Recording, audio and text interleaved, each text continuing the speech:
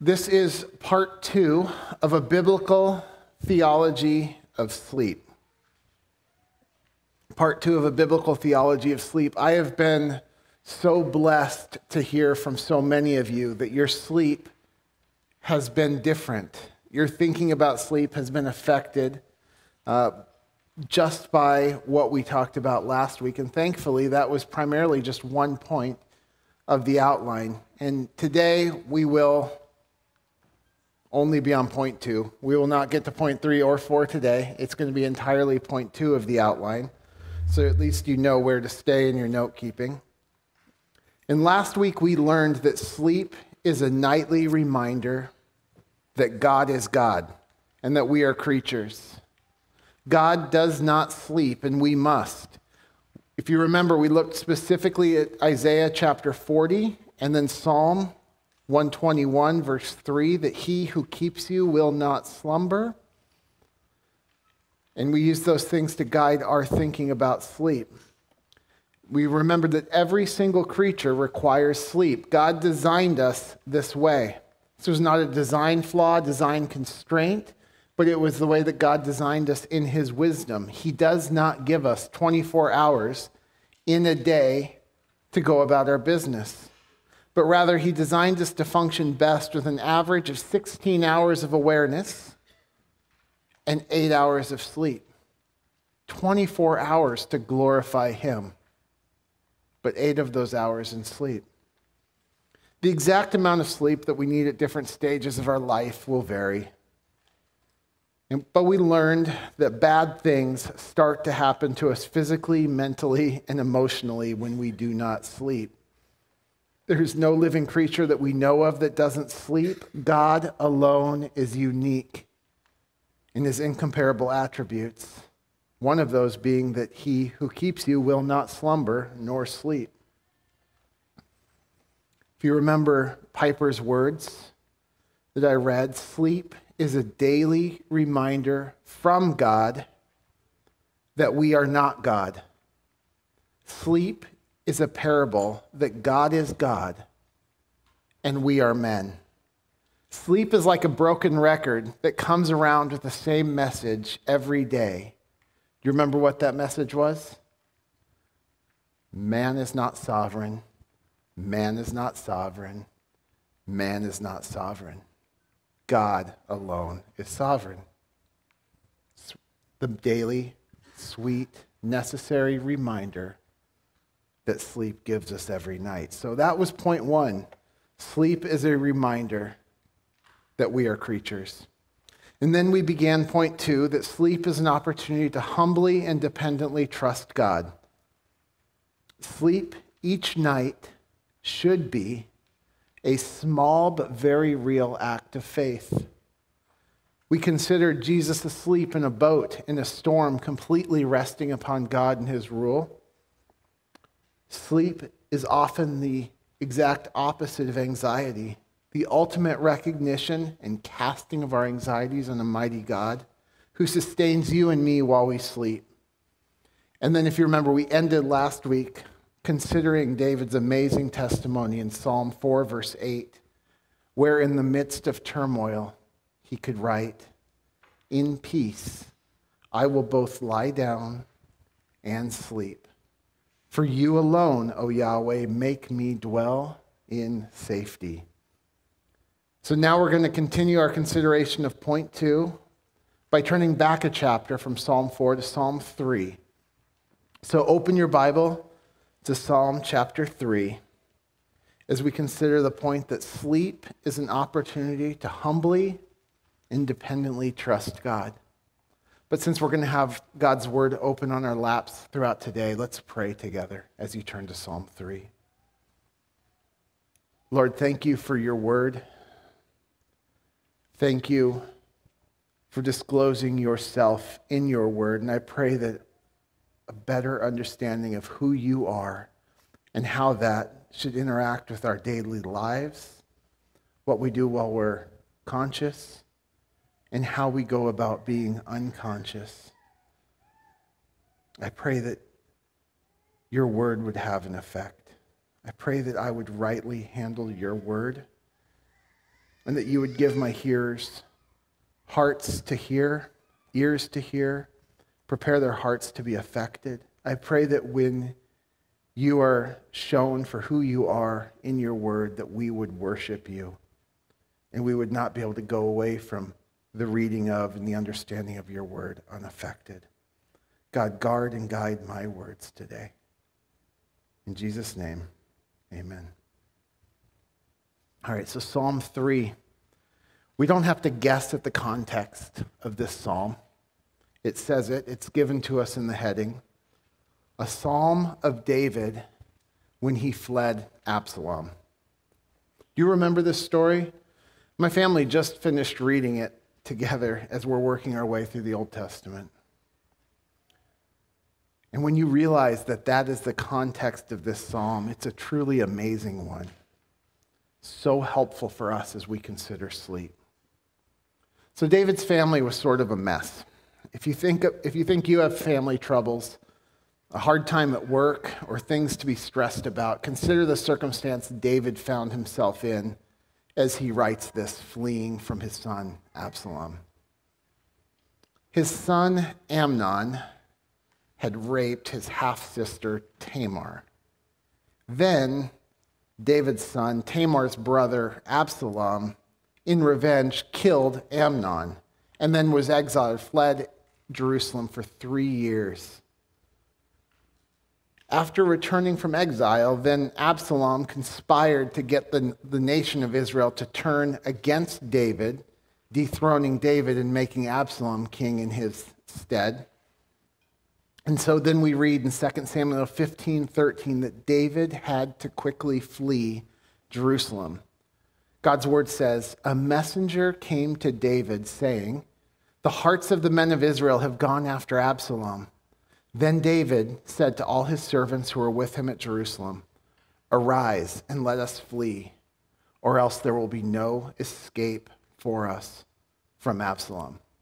David was on the run for his life, not just from any enemy. He'd been on, on the run many times in his life, but this time he was on the, on the run from his son. And while he ran, he left Jerusalem, it says, weeping as he went.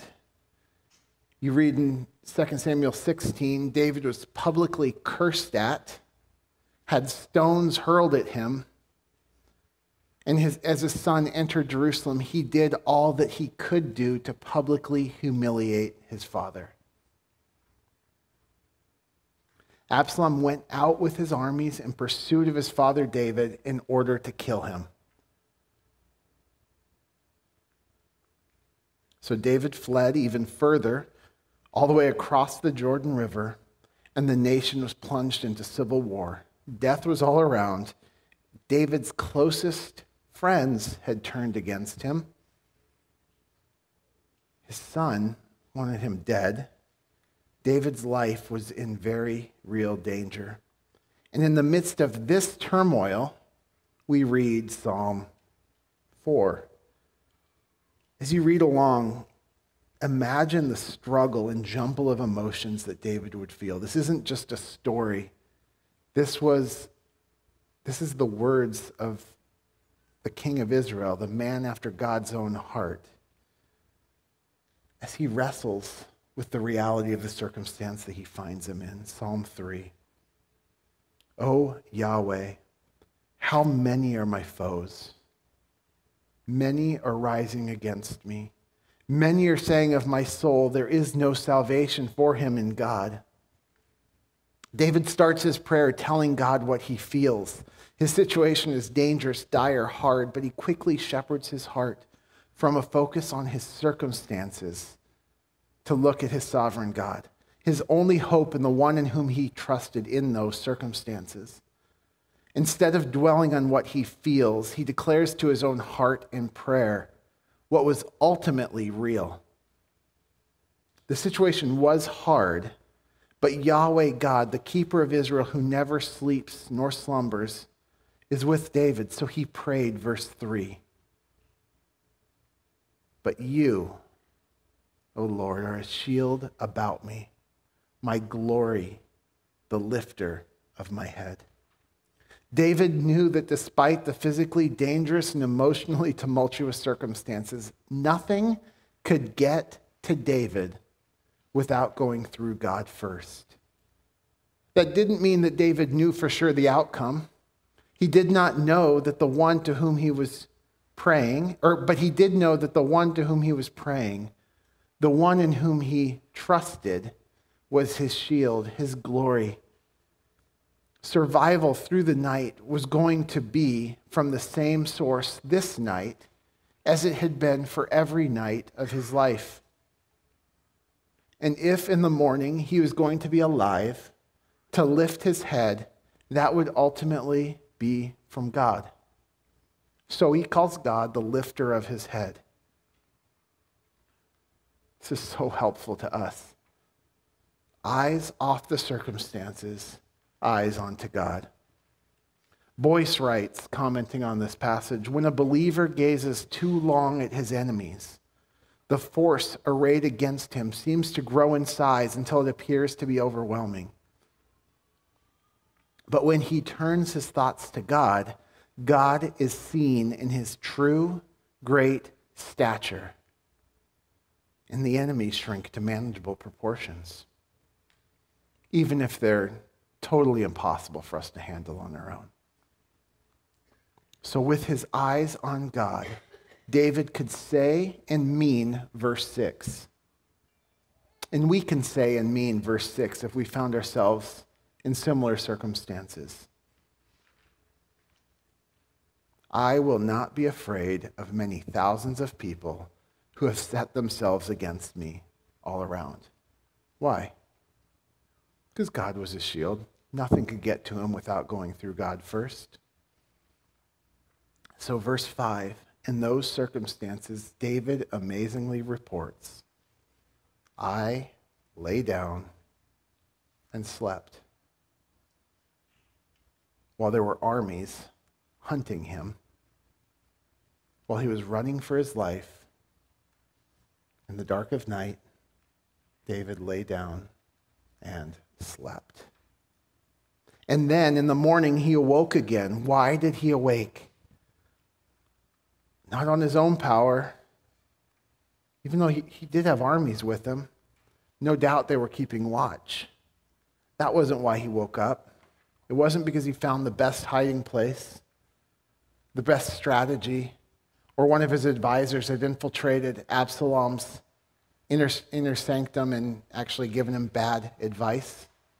Those were all means, perhaps, of God keeping him. But David awakes and gives glory to the ultimate cause, the cause behind the causes for why he woke up.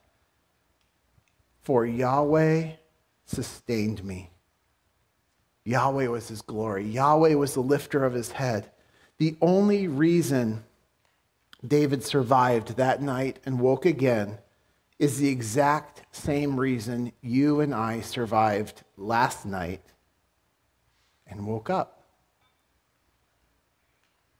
We woke up to take breaths that we don't deserve today. We survived unknown dangers that only God knew that He kept us from. We didn't develop clots in our legs that went to our lungs. Our arteries didn't rupture. We kept breathing. Who knows what else God kept you from? The amazing thing is, whether you or I are in mortal danger on a battlefield, in a life threatening situation in a hospital bed, or in the illusion of safety that we often experience and are deceived by in our suburban homes.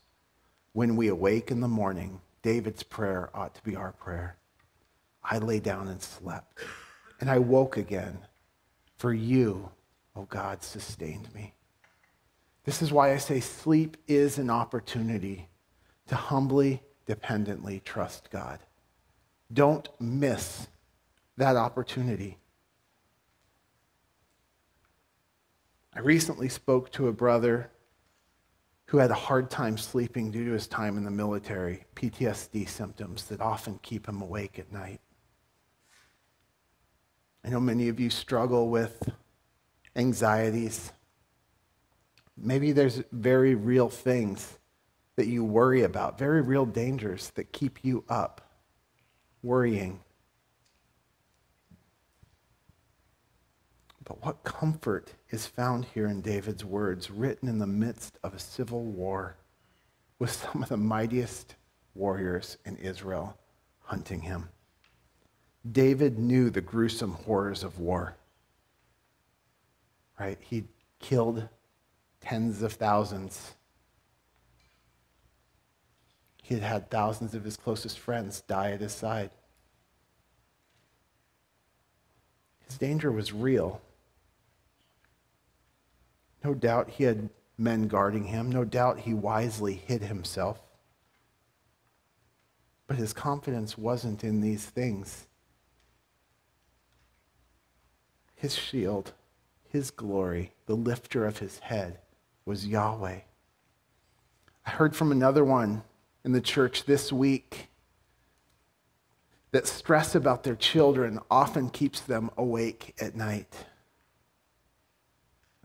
For those of you like this one who lie awake at night worried about very real relational troubles, maybe from misbehaving and rebellious children, maybe from friendships gone bad, maybe struggles at work, perhaps your job is in danger. David was in all of that and worse when he wrote this. No matter what tries to keep us awake at night, with anxiety or fear, Sleep should come from the faith filled recognition that our safety, our shield, our glory, the only one who will lift our head in the morning is God. And then we can say with David, I will not be afraid of thousands of people who have set themselves against me all around, or the lesser dangers that keep you and me awake at night. And then by grace, with a thanksgiving fueled peace that surpasses all understanding May we express our faith in our trustworthy God by lying down and sleeping. And then when you wake up, don't just go about your day. Don't let brushing your teeth or going to the bathroom be the first thing that you do. Say, Thank you, God. I awoke this morning, for you sustained me. Also, in sleep, if you find yourself wrestling with jumbled thoughts, fears, anxieties that grow bigger in your mind than they actually are. Not only is trusting God a sweet remedy, the ultimate casting of your anxieties on God's mighty right hand, knowing that He cares for you, but if you find yourself struggling with anxiety, sleep is better than any medication science can offer you for that very problem of inordinate anxieties. I was encouraged, I'm going to keep it to a minimum, but I was encouraged by many to actually do these asides on some of the things that we know about sleep. Um, there's this part of your brain called the amygdala. It's, it gets activated when you see a snake, when you see a scorpion, or when there's thousands of people with an army all around you. It is the area that startles you into activity. That's a gracious invention from God, the, the amygdala. It, amps you up and gets you ready to go. But there's a connection between the amygdala and the prefrontal cortex, the part of your brain that rationally can consider the world around you, tone down those emotions that go crazy. And when we don't sleep, it just takes a night of sleeplessness. And this gets exacerbated by night after night after night of chronic sleeplessness. And you can get it from pulling an all nighter, staying, staying awake all night. But, but this is this connection between the prefrontal cortex and the amygdala actually is shut down very dramatically when you don't sleep. So it's like the amygdala, that fear zone, is like the gas, pouring gas on the fire, stepping on the gas, making your car go. And the prefrontal cortex is the brake. And when you don't sleep, you sever the connection between them. It's like your foot is on the gas and the brake doesn't work you sleep, you reconnect those things. So not only is sleep a gracious expression of faith in God in your anxiety, but it's a provision by God to actually give you the ability to better give you the power to control those thoughts and to actively shepherd your heart to cast those cares on Him. The reality is that even in war, even in stressful situations, all people sleep. Right? This isn't something that only Christians do. All people must sleep. Sleep will ultimately win. We talked about last week. The need for sleep will overcome even the most amped up, anxious, or sleep averse person. But only Christians can glorify God in their sleep by approaching sleep as this expression of faith. That doesn't mean that Christians automatically glorify God in their sleep, but it's an opportunity for us to do so. Don't miss the opportunity.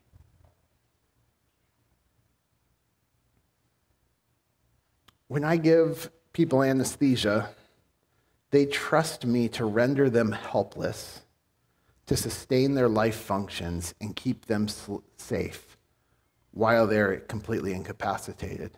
And they trust me to wake them up again. To trust me with such a task is understandably nerve wracking. I'll do my best. I've been trained for this. I'm pretty good at it, but I am not perfect. I make mistakes, and I can't ultimately determine whether you will wake up again. I am not God, but God is God, and He does not sleep or slumber, even while we do. God does not make mistakes. So trust this perfect God, this good God to sustain your life and affairs, and indeed the world while you sleep. He is trustworthy. You will not overestimate his trustworthiness. Trust this perfect and good God to sustain your life and affairs, and indeed this world while you sleep. That should not be nerve wracking. That should be peaceful sleep inducing. When you awake sweet and refreshed, give God thanks for this good gift that is to be embraced and enjoyed by faith every single night. So let's now turn our eyes to another well known psalm, Psalm 139, written by David also. This is one that maybe you didn't know had a connection to sleep. It's a little less obvious but it is powerful. This is perhaps, this psalm, Psalm 139, is perhaps the most clear and thorough treatment of God's omniscience in the entire Bible. God knows every single thing. And he doesn't just know things like we know things, right? We know things like they're facts to be observed, uh, they're items to be understood, and then remembered. No, God knows all things before they happen, and he knows them not as an observer, but the sovereign ordainer of all things. In David, the psalmist, in whom the psalmist who in times of turmoil and fear so clearly connected sleep to trust in God, here again ties in his meditation, his meditations of God to their implications on his own sleep. Remember, sleep is an opportunity for the righteous to humbly and dependently trust God. But I think in order to understand the connection to sleep that you have in Psalm 139, we have to look at the psalm as a whole before we can truly appreciate the part, the, its parts. So the key word in this psalm is know, like knowledge namely the all knowing omniscience of David's ever present, all powerful, wonderfully good God. Look for those, look for that word as we read Psalm 139, verse 1 through 4, as we're going to work our way through that psalm. O Yahweh, you have searched me and known me. You know when I sit down, when I rise up. You discern my thoughts from afar. You search out my path and my lying down, and you are acquainted. You know all my ways. Before a word is on my tongue, Behold, O Yahweh, you know it altogether. God knows everything David does when he sits down, when he gets up. He even knows the thoughts that underlie those actions. You discern my thoughts from afar. Verse 3 God knows every action that David does while he's awake. You search out my path.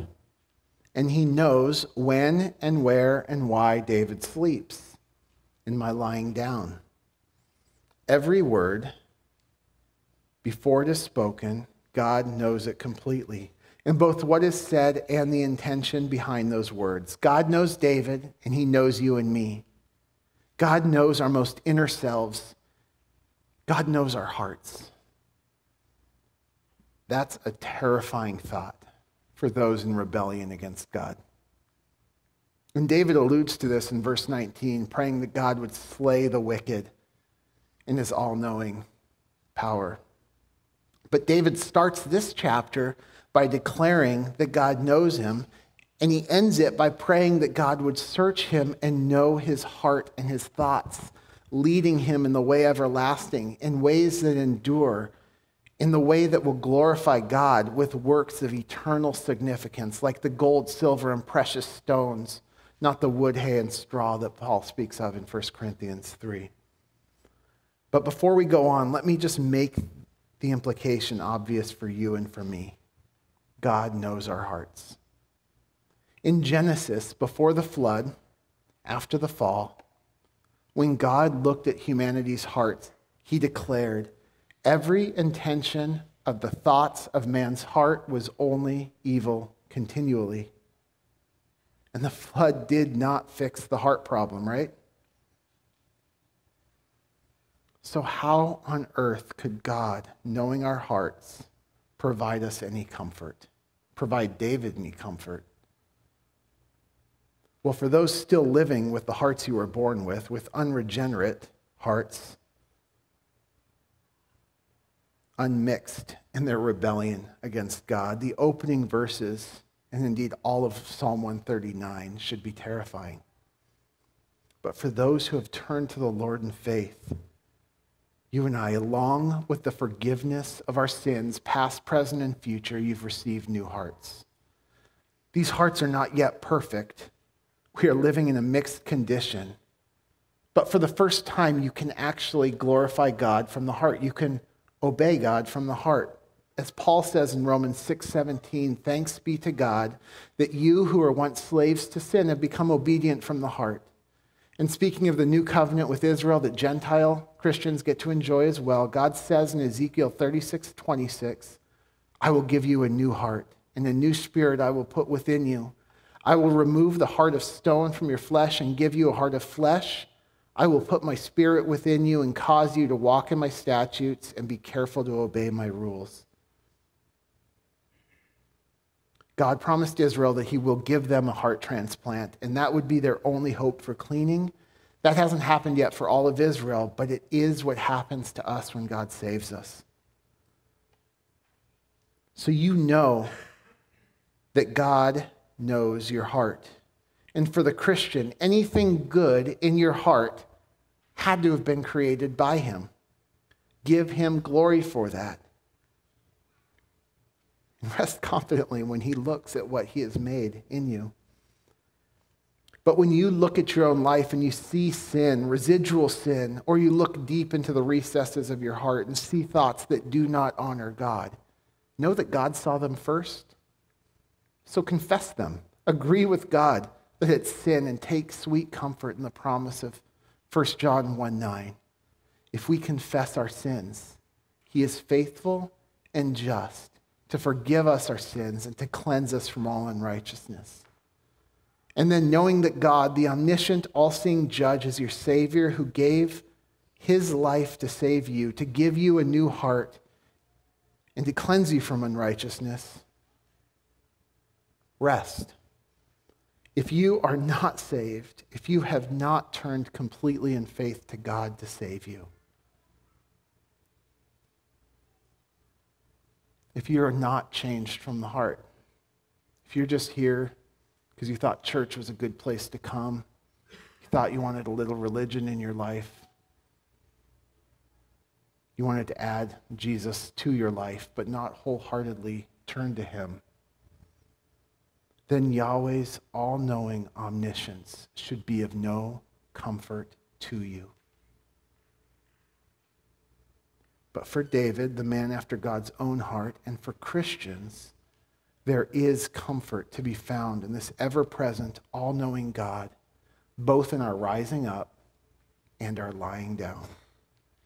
Look at verse 5. You hem me in behind and before and lay your hand upon me. When one is surrounded on all sides by an enemy, it's an inescapable siege. This word is used to describe a siege. But when one is surrounded on all sides by an all powerful ally, it is an impenetrable hedge of protection. For the one running from God, this hemming in behind and before is like an inescapable siege on a city that will inevitably result in destruction. But for David and for the believer, God has us surrounded as a hedge of protection, as a loving father lays his hand on a fearful child and they fall asleep. We know that no matter what we face, God has our back and our front. He hems us in. Just like David said in Psalm 3 about God, his shield, nothing can get to us without going through him first. And he sees all. This does not mean that everything will go exactly how you want. It will go exactly how God wants. Verse 16 will say, as we get there, that God has foreordained every single one of our days beforehand. In your book, it says, were written every one of the days that were formed for me. Believer, Ephesians 1 promises God chose us in him before the foundation of the world that we should be holy and blameless before him. In love, he predestined us for adoption to himself as sons through Jesus Christ, according to the purpose of his will, to the praise of his glorious grace. In Romans 8 28 through 32, worship as we hear this. And we know that for those who love God, all things work together for good, for those who are called according to his purpose. For those whom he foreknew, he also predestined to be conformed to the image of his Son, in order that he might be the firstborn among many brothers. And those whom he predestined, he also called. And those whom he called, he also justified. And those whom he justified, he also glorified. So, what shall we say to these things? If God is for us, who can be against us? He who did not spare his son but gave him up for us all, how will he not graciously give us all things? It is this sovereign, good, omniscient God who, whether we are living our day or asleep at night, hems us in behind and before, laying his hand on us. Psalm 139, verse 6. Such knowledge is too wonderful for me. Verse 7 through 16 goes on There's no place where we can go where God is not, where the all knowing God does not see. Heaven, He's there. Death or Sheol, there. On the farthest reaches of earth, on the other side of the sea, there. No matter where we are, God is there. His enemies cannot run from him, neither will his own ever find themselves away from his all knowing, all powerful, all wise, all ordaining, always good presence. What about at night in the dark? And if we are honest, it isn't just kids who are afraid of the dark. Though kids, if you're listening and are afraid of the dark, pay special attention to this part. Verse 11, David rhetorically asks, if I say, Surely the darkness will cover me, and the light about me be as night. David spent many nights in the pitch darkness of the Judean countryside, tending sheep while wolves and bears were out there, lions, fighting wars, hiding in caves, running for his life. And as we saw in Psalm 3 and 4, the dark of the night had to be especially fear inducing time and opportunity to trust God with sleep. David's little fire couldn't illuminate the dangers that lurked just beyond the borders of its light. And there were many times in his life when he couldn't even start a fire because Saul and his armies were out hunting him. He had to hide in caves. Have you ever been in the dark when like when it's really dark? You feel your helplessness. You don't know if you're safe or if you're in danger. I used to teach scuba diving, and we would do this dumb thing where we would jump off the boat in the middle of the pitch dark at night. And you just knew as soon as you hit the water, a squid or a shark or something's going to grab you. Something you do all the time in the day when you can see. At night, all of a sudden, your brain starts imagining dangers that aren't there. Or you realize that you're helpless to even see the danger coming that might be there. The reality is that we are vulnerable in the dark. We are vulnerable while we sleep. That's actually one of the headings under your passage list. You're vulnerable while you sleep, and there's lots of people in the Bible who got killed while they slept. The darkness and sleep makes one easy prey for your enemy. And some people count on the cover of darkness to hide them while they do evil. Consider Micah 2, Psalm 36, 4, Ephesians 5, 8 through 12. But this darkness doesn't faze God. So David declares, even darkness is not dark to you. The night is bright as the day, for darkness is as light with you.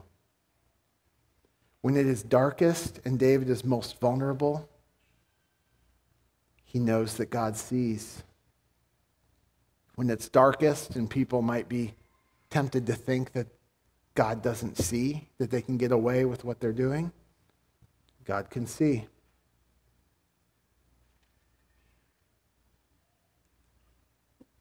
Andrew, I just this is for my son. It might be for other kids here who are scared of the dark. It might be for you if you get scared in the dark.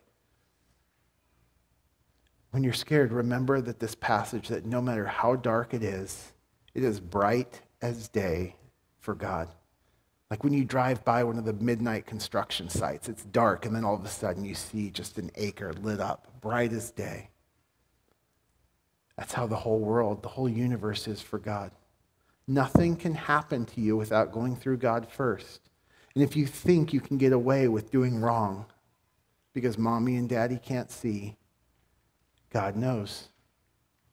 And if you think that there's danger out there that you can't see, God sees it first, and it can't get you without going through Him. It's not just my seven year old son who needs to hear that, but all of us. So think back on your own life. Where in your own life were you in an environment that was darkest? Where in your own life were you most vulnerable? Well, it was the same for David as it was for all of us. And that David goes on and declares that God was wonderfully present at that darkest, most vulnerable time. And that was in your mother's womb. Not a photon of light, completely vulnerable, dependent, not even yet fully formed. That's where David goes in his heart shepherding meditation on God and his omniscient power, even in darkness. Psalm 139, 13. For you formed my inward parts, you knitted me together in my mother's womb. I praise you, for I am fearfully and wonderfully made. Wonderful are, you, are your works. My soul knows it well. My frame was not hidden from you when I was being made in secret, intricately woven in the depths of the earth. Your eyes saw my unformed substance. In your book were written, every one of them, Every one of what? The days that were formed for me, when as yet there was none of them. Every moment of your life, from embryo to cadaver, is seen by God, ordained by God. Every single day, every one of them was written before one of them even existed. Should lead us to the same praise as we have in David in verse 17. How precious to me are your thoughts, O God. How vast is the sum of them. If I would count them, they are more than the sand. I awake, and I'm still with you.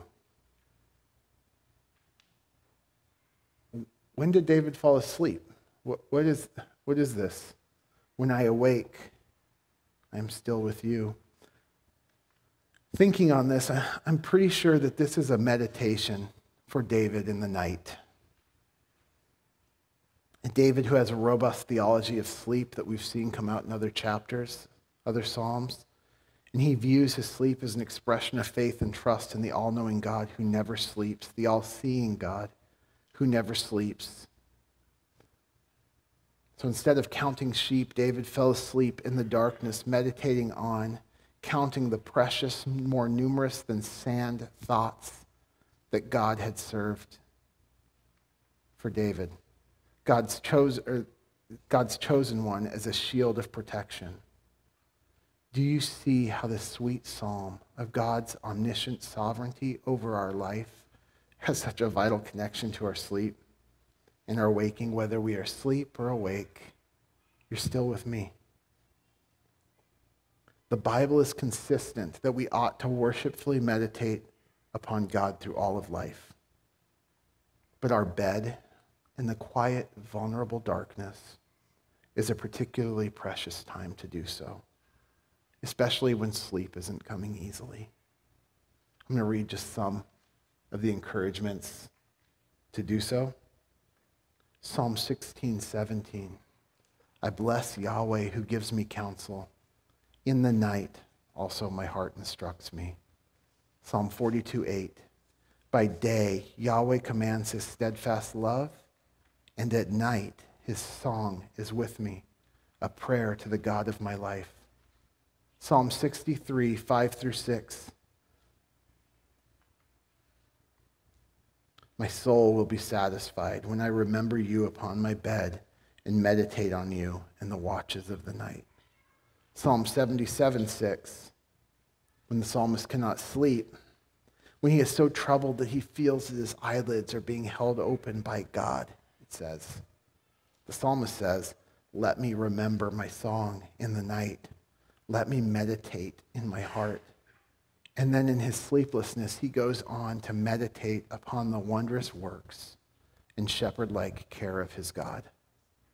Psalm 119, verse 55 I remember your name in the night, O Yahweh, and keep your law. Psalm 149, verse 5 Let the, the godly exult in glory, let them sing for joy on their beds.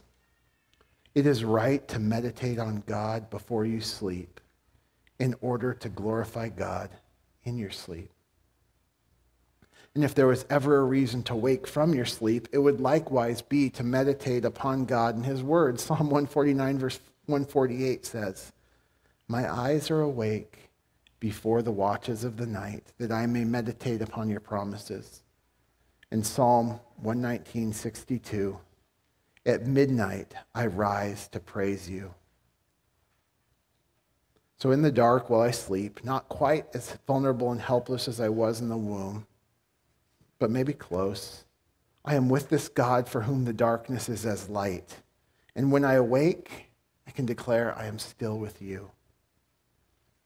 So, tonight, every night when you sleep, I encourage you to approach that sleep confidently meditating on the God and his countless thoughts and knowledge.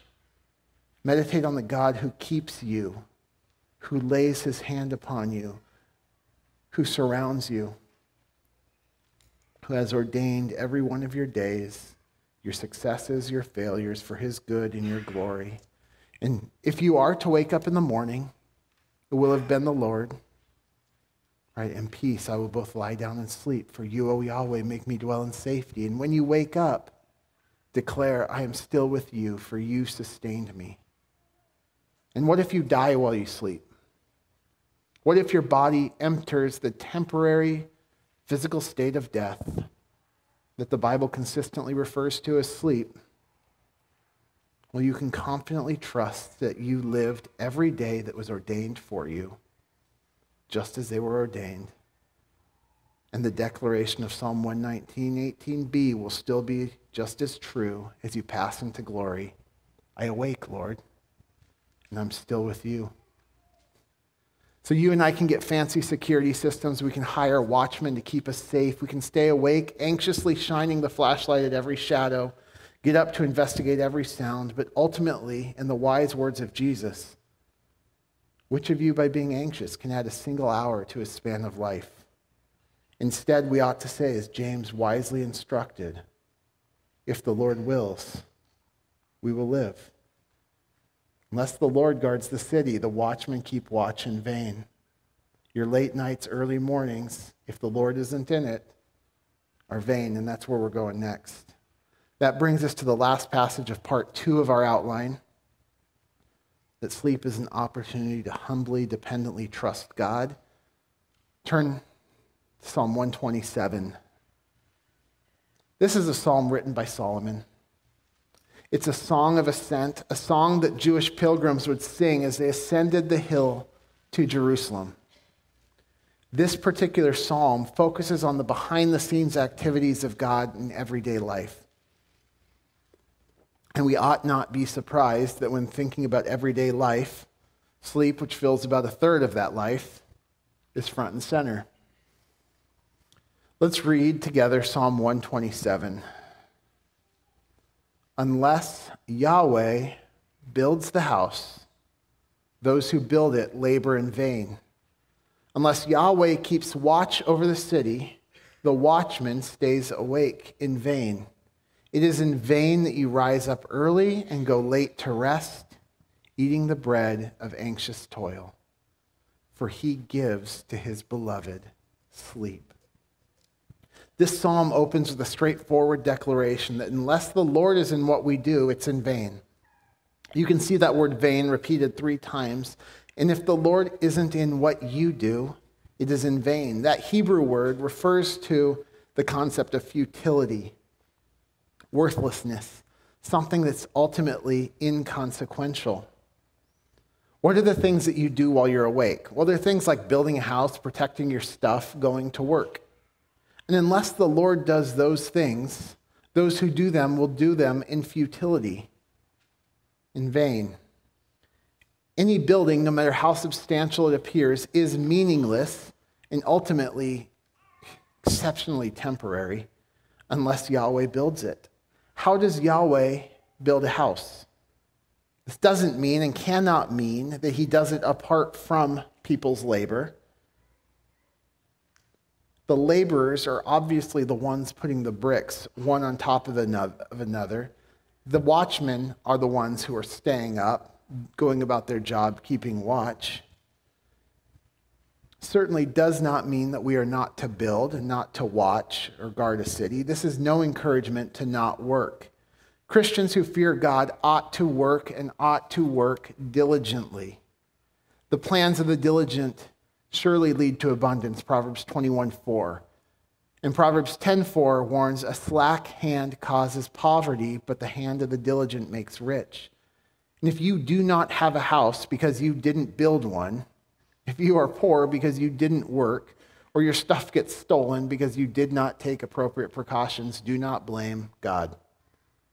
Christians ought to work, and Christians ought to be marked by diligent hard work. Speaking to Christian slaves, Paul writes in Colossians 3:23, "Whatever you do, work heartily for the Lord, not for men, knowing that from the Lord you will receive the inheritance as your reward." You are serving the Lord Christ. And generally to all Christians in Colossians 3:17, whatever you do in word or deed, do everything in the name of the Lord Jesus, giving thanks to God the Father through him. Paul sternly warns the Thessalonians to keep away from any brother who's walking in idleness, and he commends an imitation of his hard work. With toil and labor, we worked all night and day. We worked night and day. In 2 Thessalonians 3:12, we command and encourage in the Lord Jesus Christ to do your work quietly and earn their own living. Psalm 127 is not an encouragement to idleness and laziness, but it is a sweet reminder that while we work diligently, we are working along with the Lord as if unto the Lord when we work in what the Lord would have us do.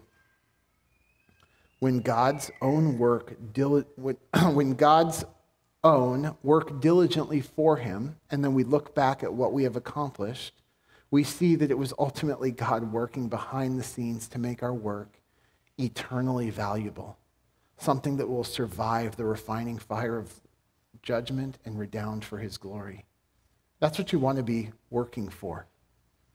And simple, everyday things can actually be those things when we do them for him, with him, for his glory, not as distractions from seeking first the kingdom of God, but actually as part of that and living the life that he has given us to live on this earth. Only the Christian can have the Lord build a house while he builds. And our successes and our protection are ultimately from the Lord when we watch the city. Unless the Lord is in the work, it will be futile. We will not be able to accomplish the work here if the Lord is against it. And even if we do so, it is ultimately in vain, just as Ecclesiastes makes so obvious to us.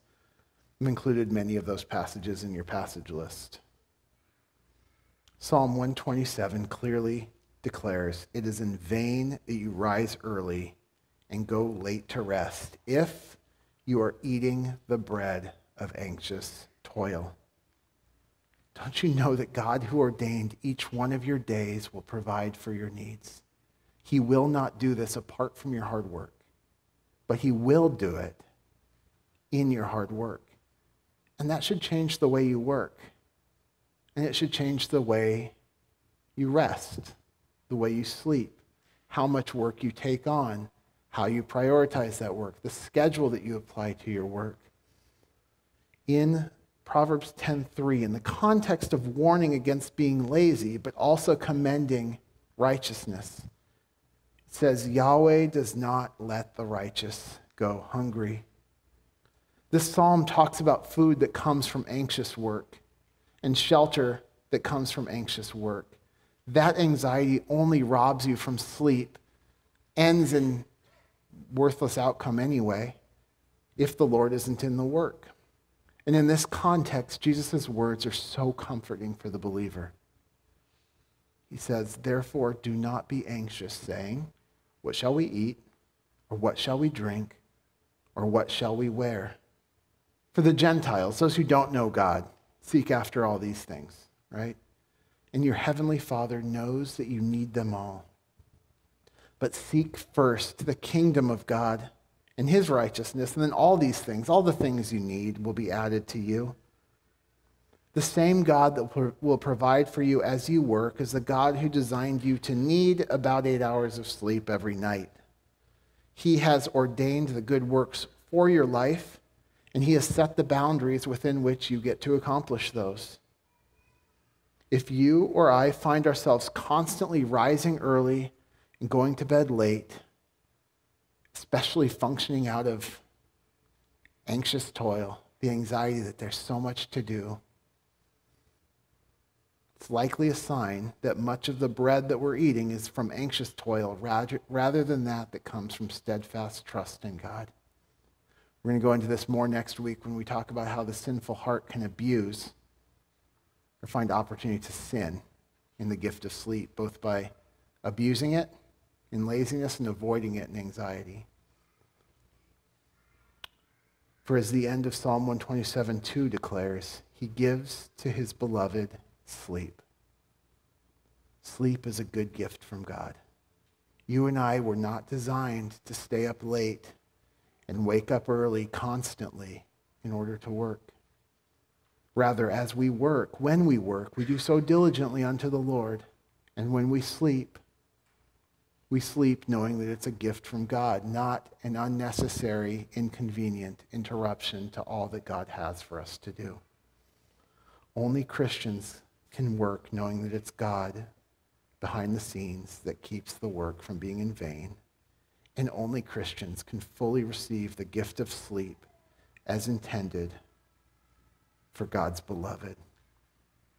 Because it's only for Christians, it's only for God's beloved that God will work as we sleep. So reorient the way that you work. Receive this good gift of sleep. Right? Sleep is not an interruption to what really matters. Our sleep ought to be a restful, sweet expression of dependent faith in God's provision.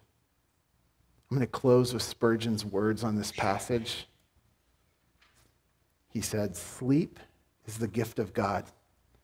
We think that we lay our heads upon our pillows and compose our bodies in peaceful posture, and that therefore we naturally and necessarily sleep.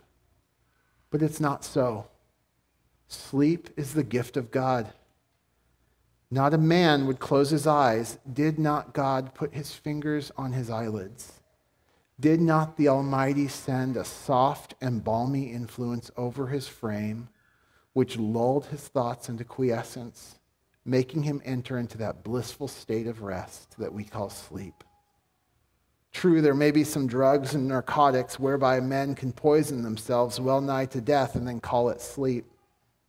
As an aside, those things tend to not induce sleep, just a state of unconsciousness that mimics sleep to an outsider but robs you of most of its benefit. But the sleep of a healthy body is the gift of God.